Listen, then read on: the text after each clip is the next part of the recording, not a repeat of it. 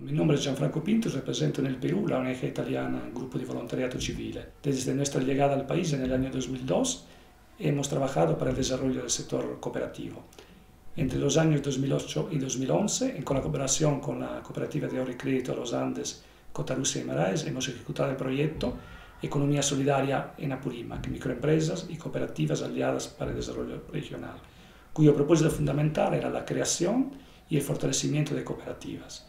La presencia de la cooperativa Los Andes ha permitido a estos grupos, a estas nuevas cooperativas, acceder a una financiación adecuada. Mi nombre es Vidal Piaca Martínez, represento a la cooperativa Los Andes Cotaruzzi y Aymaraes. Mi cargo es presidente del Consejo de Administración. Esta eh, cooperativa se funda en el año 2001 por iniciativa de los campesinos de la comunidad de Cotaruzzi y en vista de que ellos eh, no tenían acceso al crédito por la banca privada. Aquella vez con 230 socios, con un capital social de 7 mil soles Hoy en día es una cooperativa líder en microfinanzas. Pensar de que de aquella vez a ahora ya contamos con más de 18 mil socios. La cooperativa Los Andes invierte bastante en lo que es capacitación de personal, capacitación de socios, directivos y prácticamente eso es un sinónimo de desarrollo, de progreso. Estamos coberturando todo el departamento de Purín. El principal principio es atender, llegar a la gente que más necesita. El proyecto ECOSOL ha permitido la formación de cinco nuevas cooperativas, las cuales a través del acompañamiento técnico del personal del proyecto, su respectiva formalización y la posibilidad de acceder a la financiación de la cooperativa de crédito Los Andes, les ha permitido iniciar su actividad económica. La cooperativa San Pedro de Cachorra, una cooperativa que ha nacido en un distrito que está a la puerta de entrada de un sitio arqueológico que está cobrando bastante importancia en el país, que se llama Choquiquirá y que se puede alcanzar solo vía trekking.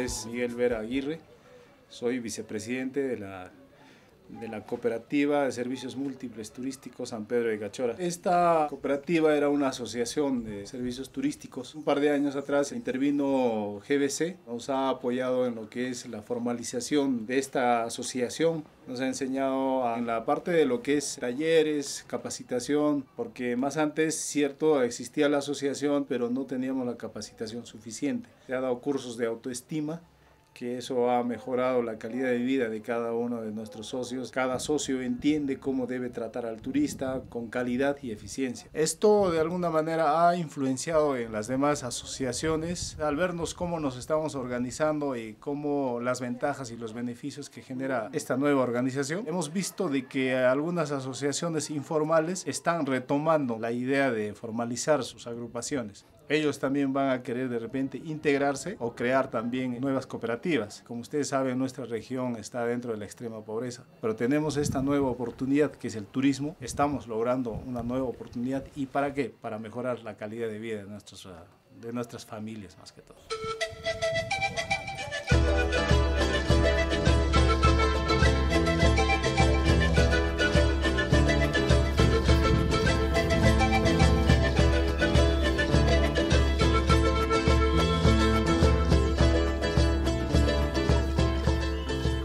Cooperativa importante que se ha formado durante estos años de ejecución del proyecto son eh, dos cooperativas ubicadas en el sector alto de la provincia de Antabamba, cuya actividad principal es la crianza de alpacas. Mi nombre es Heriberto Sánchez Tapia. En la actualidad yo ocupo el cargo de gerente de la Cooperativa de Servicios Especiales Alpaqueros Corazón Andino y de la Cooperativa de Servicios Especiales Alpaqueros Purímac Alpaca. Mi labor principal es gerenciar todas las actividades referidas a las cooperativas en lo referido a su explotación de los camellos sudamericanos, en especial las alpacas. Muchas de las comunidades donde actualmente se está apoyando son ubicadas de 4.500 a 5.000 metros. ¿no?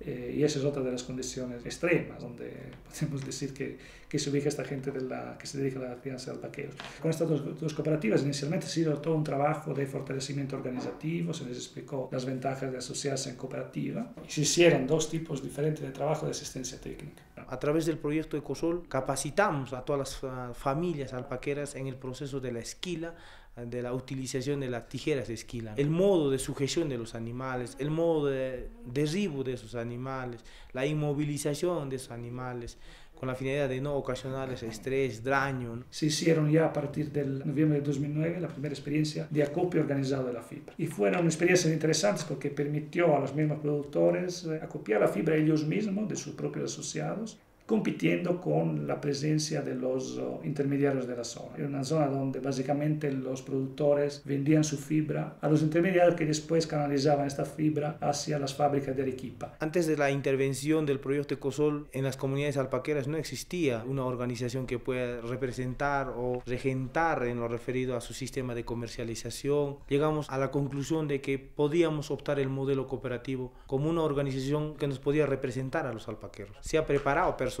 se ha capacitado a señoras productoras alpaqueras de acá de la zona para que puedan ellas ser maestras categorizadoras o clasificadoras. La categorización es muy importante acá porque permite al productor alpaquero a ver en qué nivel está su crianza, su sistema de crianza.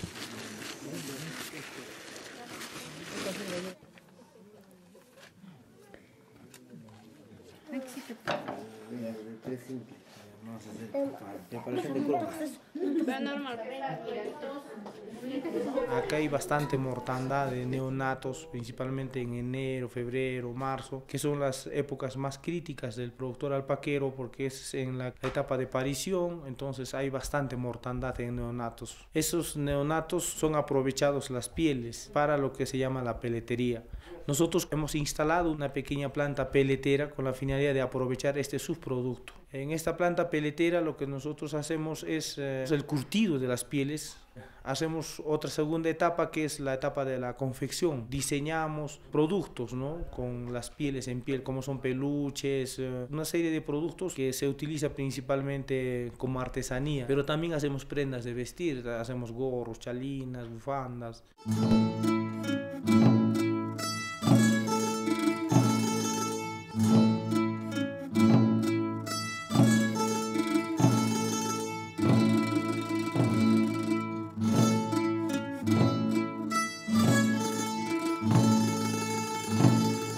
Cooperativa que hemos conformado durante el proyecto Consol es la cooperativa de las mujeres ecologistas.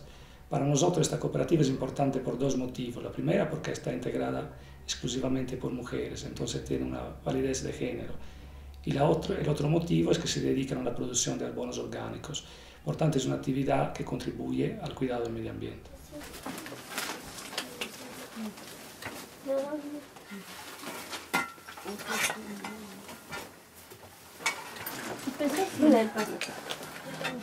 Un reembolso medio.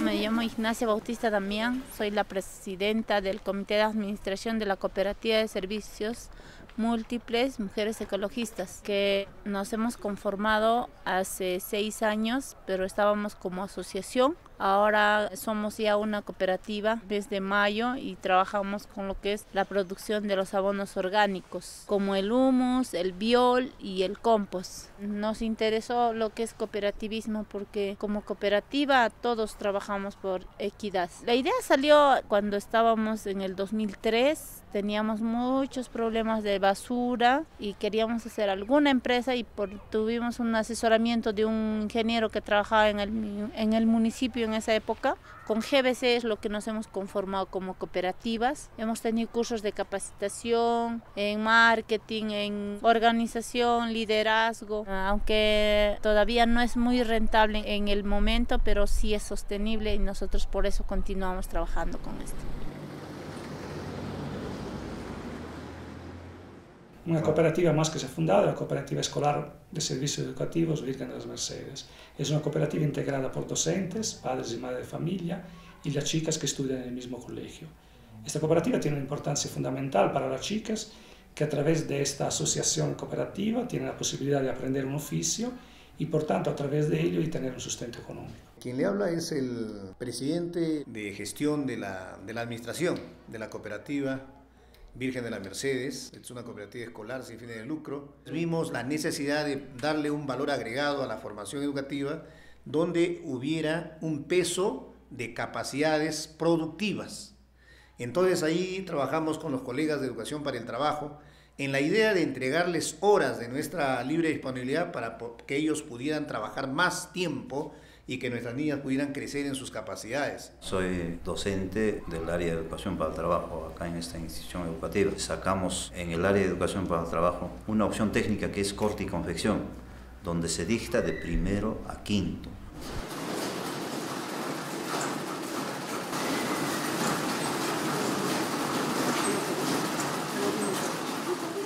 Y esta cooperativa escolar es para dar de repente un apoyo a los estudiantes para que tengan ocupación, porque estos estudiantes al concluir sus estudios no todas son profesionales. Brindando este aprendizaje de corte y confección, terminan secundaria con una opción laboral. Y luego, las que dominan pasan a trabajar en la cooperativa escolar y pasan a ser socias es decir, que también casi todo el estudiantado son socios de esta cooperativa escolar. Ahora también hay madres de familia, padres de familia como socios están en la cooperativa. Las demás eh, estudiantes o socias tienen su retribución a los estudiantes, su pago diario. Y las utilidades que quedan se adquieren las maquinarias industriales. Cada año que adquirimos las maquinarias industriales para luego en estas mismas maquinarias ellas aprenden también.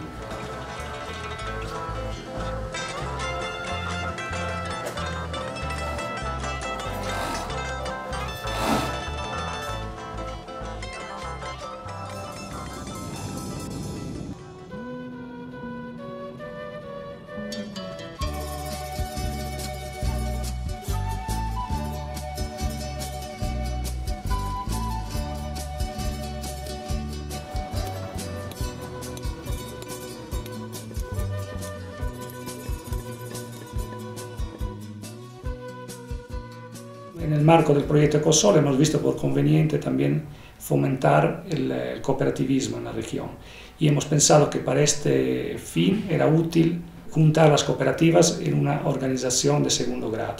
Esta organización de segundo grado que se ha conformado se llama La Voz de Apurímac y está integrada por 10 cooperativas de la región.